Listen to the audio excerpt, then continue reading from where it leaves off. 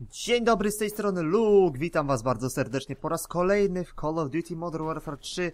Tym razem mam dla was, myślę, że dosyć ciekawego moaba z mojej ulubionej broni szturmowej, jaką jest właśnie M16. Yy, I jest to mapka Underground i muszę tutaj wspomnieć o tym, że kiedy gram na tej mapce, to wisi nade mną wtedy jakaś Ech, bardzo dziwna klątwa. Jeżeli chcecie się dowiedzieć o co chodzi, to musicie ten filmik obejrzeć do końca. Ponadto oprócz tej klątwy, która wisiała nade mną mm, na końcu filmiku, to mam dla was taki śmieszny bonus. y.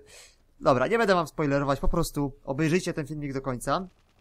E, może teraz powiem, dlaczego lubię M16 i dlaczego jest to moja ulubiona broń szturmowa. Zacznijmy może od klasy, jakiej tu używałem, w sumie jak zawsze, w każdym filmiku prawie.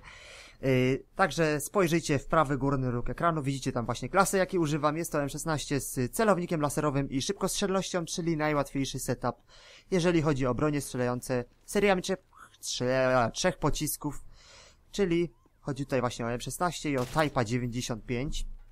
Osobiście takim setupem grałem najmniej yy, w tej grze. Yy, najwięcej używałem M16 z mm, tłumikiem i szybkostrzelnością. Po prostu jakiś taki sentyment mam do tego setupu. Mimo, że jest on trudniejszy, ponieważ na dalszy dystans trzeba wystrzelić troszeczkę więcej, chociaż nie zawsze, więcej niż jedną serię w przeciwnika. No i czasami można po prostu na taki dalszy dystans yy, przegrać. Yy, I dlaczego kocham M16? Oprócz tego, że miażdży jądra, to w jednych rękach jest OP, a w drugich nie. Jak widzicie tutaj na bliski kontakt wygrywam z panem, który używa MP7. Jest to ten pan właśnie, którego przed chwilą zabiłem. No i to jest właśnie ta granica. W jednych rękach ta broń jest OP, a w drugich nie. Jeżeli się umie mm, świetnie celować, to ta broń naprawdę daje radę przeciw wszystkiemu. No może przeciw shotgunom będzie troszeczkę trudniej, troszeczkę. Będzie dużo trudniej wygrać niż przeciw broniom szturmowym czy SMG.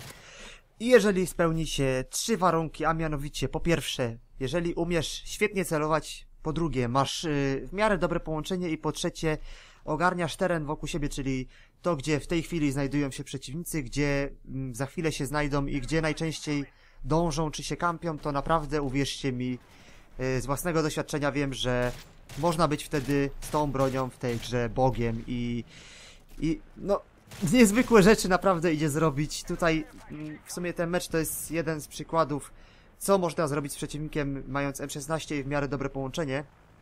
E, a tak poza tym to mm, bardzo dziękuję wam za 300 widzów, bo przez dwa ostatnie filmiki miałem wspomnieć o tych 300 widzach, ale jakoś tak zapomniałem, teraz mi się przypomniało, dlatego dziękuję, jest ok, 300 widzów jest super.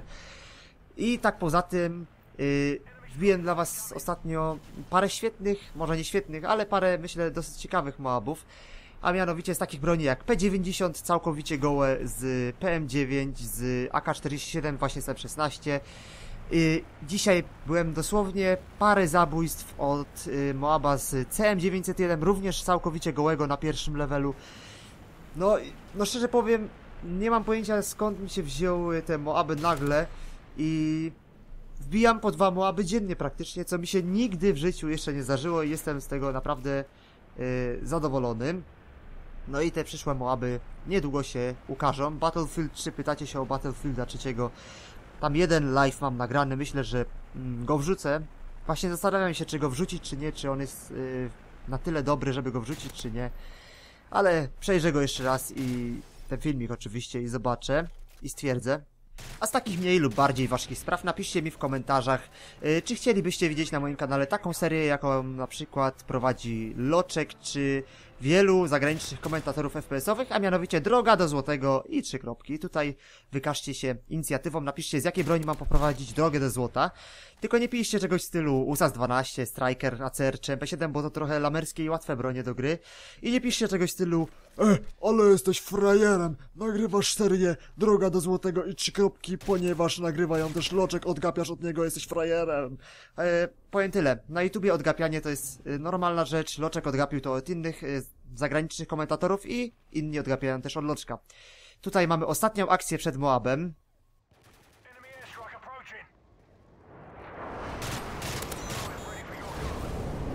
I tutaj zobaczcie, zaraz po zdobyciu Moaba padłem trochę fuksiarsko, bo widział mnie na radarze i dlatego tam tego airstrike'a puścił. I tutaj widzicie klątwa ready for your go, czyli Jest to mój drugi z trzech Moabów na tej mapce, który mi się zaciął. Tutaj niepotrzebnie się trochę zabiłem, bo mm, mogłem spróbować jeszcze raz uruchomić tego Moaba, ale tak wyczaiłem, że jeżeli jakiś killstreak nam się zacina i zostaniemy zabici przez przeciwnika lub sami się zabijemy, to wtedy po odrodzeniu już ten killstreak się jakby odblokuje. Tutaj jak widzicie zemsta przedszkolaka w końcu dobiegła końca, doszło do tej zemsty, nareszcie mnie zabił aż dwa razy pod rząd, ale Moab wybuchł, zakończył mecz i tyle. Napiszcie mi o tej serii Droga do Złotego i trzy kropki, jaka to ma być broń. Tak jak mówiłem, moja ulubiona broń to M16 i UMP45.